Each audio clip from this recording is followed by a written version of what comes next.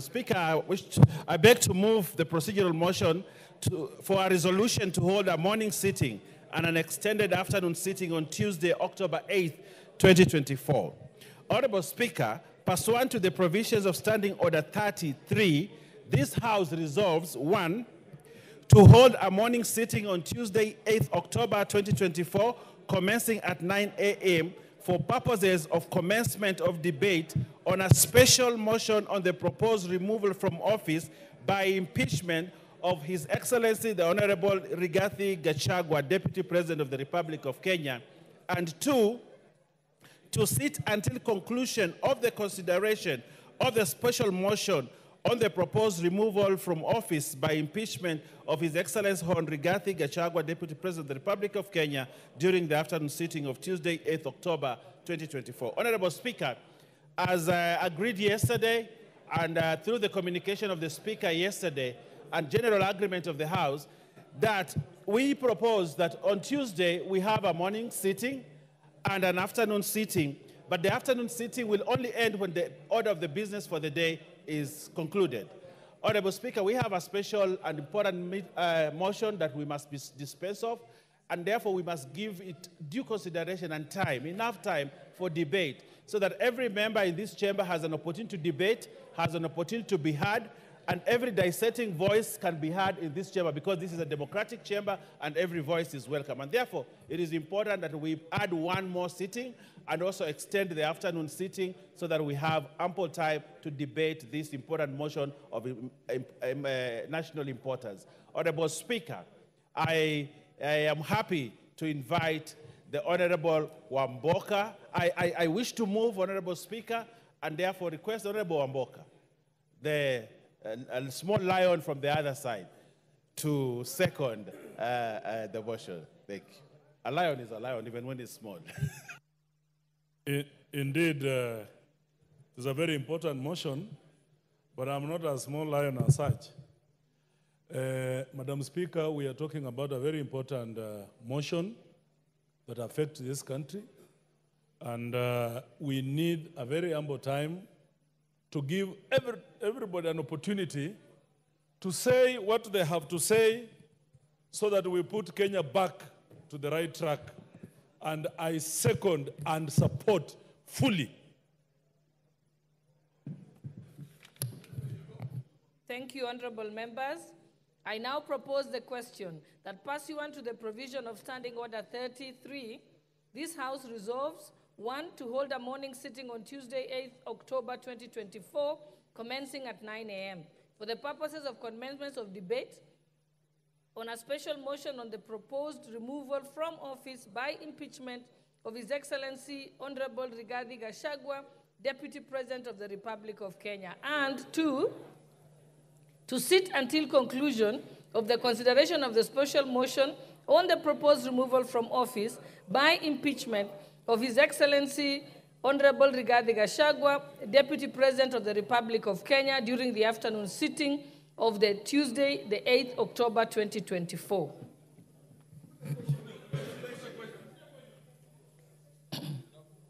okay, honorable members, I now put the question that pursuant to the provisions of Standing Order 33, this House resolves to one, to hold a morning sitting on Tuesday, 8th October 2024, commencing at 9 a.m. for the purposes of commencement of debate on the special motion on the proposed removal from office by impeachment of His Excellency Honorable Rigathi Gachagua, Deputy President of the Republic of Kenya. And two, to sit until conclusion of the consideration of the special motion on the proposed removal from office by impeachment of His Excellency Honorable Rigathi Gachagua, Deputy President of the Republic of Kenya, during the afternoon sitting of Tuesday, October 2024. Will as many as of that opinion say aye? aye? Will as many as of the contrary opinion say nay? The ayes have it.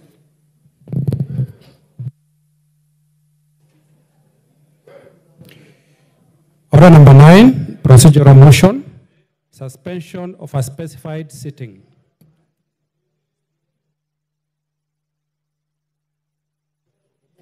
Thank you, Honorable Speaker. And I beg to move that pursuant to the provision of Standing Order 28.4, calendar of the Assembly, this House resolves to suspend its sitting of Thursday, 3rd October 2024, so as to allow administrative arrangement- arrangements necessary to facilitate the program for public participation on the special motion for the removal from office by impeachment of His Excellency Honorable Rigathi Gachagua, Deputy President of the Republic of Kenya. Honorable Speaker, just as my deputy has said, this motion is due for debate next week on Tuesday and was communicated by the Speaker yesterday afternoon or last evening. We are required to conduct public participation. Honorable Speaker, it's important to mention to members that the public participation we intend to uh, do is public participation that is very granular, right from the polling station all the way to the county. And if members have seen, already the advertisement has been put in uh, the dailies and it's there on the website, and members of the public can therefore access the venues where people will uh, assemble in a very granular manner, right from the polling station to the ward level, to the constituency level. So members of parliament will need also to retreat to their constituencies and be able to uh, inform their people accordingly. So that we make sure that everybody in every polling station is aware of the motion, the grounds of the motion, and they can give their say at the county headquarters. And I'm sure members of parliament, having been seasoned people in these matters of public participation, will enable their constituents right from the polling station to be able to give their views. There is also a memoranda that's already on the website, and again, you should be able to speak to your constituents and uh, to be able to fill up that uh, memoranda and send it to the um, addresses that have been indicated. With that, Honorable Speaker, it's therefore necessary that we retreat tomorrow and we don't have a sitting tomorrow uh, afternoon as the norm is as per our calendar. Honorable Speaker, I beg to move and I want to request the Honorable Mala uh, Farah, Farah Maalim. I was going to say Mala Farim. Farah Maalim uh, um, uh, to second.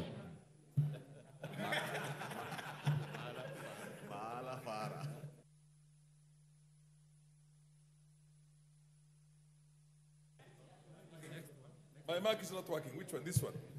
Uh, Mr. Speaker, I can see the majority leader has moved a very, very important and a constitutional provision uh, for us also to have the public participation. Public participation is provided for in our constitution. It is important because it's a first of its kind under the Constitution 210 of the Republic of Kenya, which is one of the most progressive constitutions in the world, not in Africa, not in the third world countries, but including the developed world also. Mr. Speaker, I second that, and I am hoping we will all go out back to our own constituents. We will inform them, we will sit down with them, we will listen to them, and public participation is going to be carried out as the Constitution has provided. Thank you. I second, Mr. Speaker. Thank you. Madam Speaker, sorry. Yes.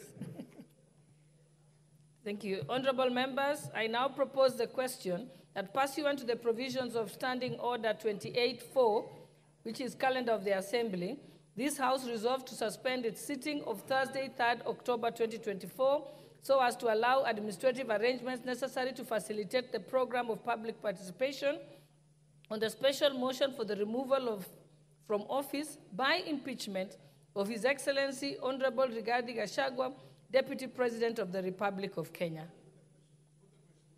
It's the mood of the House that we should put the question? Okay.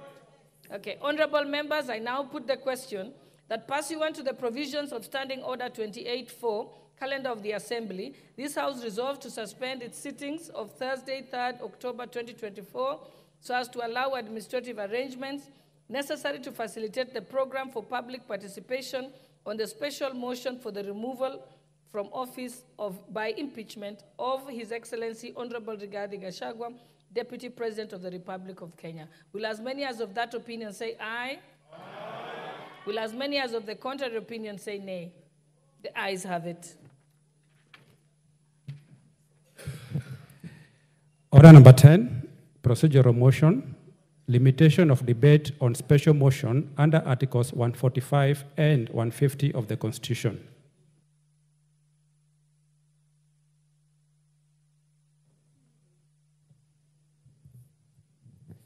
Majority Leader. Thank you very much, Honorable Speaker. Honorable Speaker, pursuant to the provision of uh, Standing Order Number 97.1, and notwithstanding the resolution of the House on February 14, 2024, this House orders that each speech in a debate on a special motion under Article 145 and Article 150 of the Constitution shall be limited as follows. A maximum of 60 minutes for the mover in moving the, uh, the motion and 30 minutes in reply and a maximum of five minutes for any other member uh, speaking, except, of course, the majority leader and the leader of minority, and the member seconding the motion, who shall be limited to a maximum of 10 minutes each. And that at least two and a half hours before a vote is taken on the motion, the deputy president or the president, as the case may be, of course, in this case, is the deputy president, shall be accorded an opportunity to be heard in accordance with the standing order number 67B2 uh, as a right to be heard. Honorable Speaker, um, going by the notice of motion that was uh, tabled here yesterday by the move of this motion, this motion received overwhelming support of 291 signatures. That ideally means, Honorable Speaker, that members should be given adequate time to debate on this motion. Usually, of course, the House knows that we debate, each member gets about 10 minutes to speak on any motion. But because of the, of the interest, the overwhelming interest across the political side, and for, for, I mean, uh, with the 291 that support, and even the 53 or 54 who do not support, Honorable Speaker, uh, the minority, they'll get that opportunity to articulate their issues on why, whether they support. Those who do not support, they'll also have their five minutes to support. You know, they arranged their thoughts within the five minutes. You articulate your issues within the five minutes. And also, we give the mover 60 minutes so that they can, he can actually place his uh, grounds on the table without a hurry. 60 minutes, Honorable Speaker. And with 30 minutes right of reply. Honorable Speaker, I, for us, this is clearly f- fair. And even to add on top, Honorable Speaker, we wish to move that the Deputy President is accorded an opportunity to be in this House and be heard. The proposal is two hours of defense in this floor, Honorable Speaker, without being interrupted, Honorable Speaker. So I beg to move, Honorable Speaker, that uh, members arrange their votes within the allocated timeline and come in large numbers that very day, very early in the morning, to articulate their issues in support or in opposition in, uh, while opposing the motion, Honorable Speaker. So I beg to move, and I ask Honorable Sam Atandi to second. Thank you, Honorable Speaker. Honorable Speaker, as has been explained by the majority uh, whip, this is a historical motion. And for some of us, we are lucky that we are going to witness and participate in the impeachment of the deputy president. This is something which is very special, Madam Speaker. And I'm sure that, just like me, myself, all members of this House will be interested in giving a shot to this motion. Therefore, Honorable Speaker, we would like to request that uh, everybody be given an opportunity. And so the motion that, uh, the proposal that we have five minutes for members and uh, 60 minutes for the mover is something which I would like to second, and I would like to appeal to members to support. Thank you. I support. I second. Thank you. Thank you. Uh, honorable members, I now propose the question that pursuant to the provisions of Standing Order 97.1 and notwithstanding the resolution of the House of, of February 14, 2024, this House orders that each speech in a debate on a special motion under Articles 145 and 150 of the Constitution shall be limited as follows. A maximum of 60 minutes for the mover in moving and 30 minutes in replying, and a maximum of five minutes each for any other member speaking, except for the leader of majority, the leader of minority party, and the member seconding the motion, who shall be limited to a maximum of 10 minutes each, and that at least two and a half hours before a vote is taken on the motion, the deputy president or president, as the case may be, shall be accorded an opportunity to be heard in accordance with Standing Order 67B2. That is the right to be heard. Honorable members, may I propose the question? Let me put the question. Okay, honorable members, I now put the question. What's your point of order? Thank you, thank you, Madam Speaker. Immediately after. Th thank you, Honorable Speaker. I, I just wanted some little bit of clarification. Because I've, I've tried to do the, uh, while I agree with the motion, Madam Speaker, I've tried to do the computation of the period. And uh, I'm a bit, uh, that's why I'm seeking your clarification, that the, the mover will have one hour, the seconder will have 30 minutes, the leader of majority and minority will have 10 minutes each. So, uh, seconder will have 30, 10, 10 minutes. The yes, second will have 10 minutes. So are, are, we saying, therefore, Madam Speaker, that uh, is it, is it two and a half hours maximum, including the time that the mover is moving, plus the leader of majority and the seconder, and that each one of us gets five? We have a lot to say about this motion, Madam Speaker.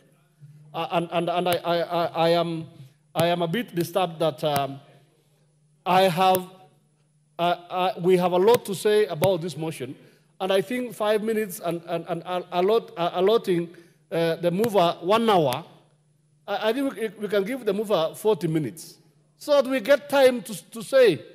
And, and, and, and uh, we have a lot to say about this motion.